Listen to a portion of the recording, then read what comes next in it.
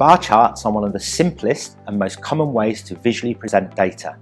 Most measures across VAHI's reports are presented in a bar chart.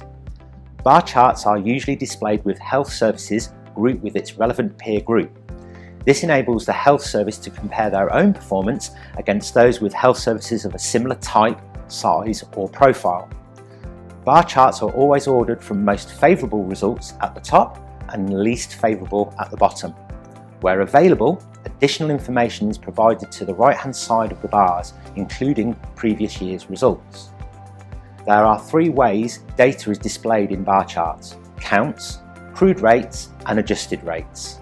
A crude rate is a simple way to display results as a percentage. These are based on available data and are easy to calculate, giving a quick overview of a result. The downside to crude rates is that they don't take into account unique differences in the population that a health service supports, so it can be difficult to provide like-for-like -like comparisons of results with its peers. Adjusted rates provide each health service with an expected rate based on the population they work with, age, gender, complexity of conditions, social and demographic information affect these adjusted rates and help provide a better comparison of results.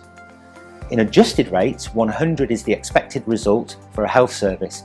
So if a health service result is below 100, it is performing better than expected.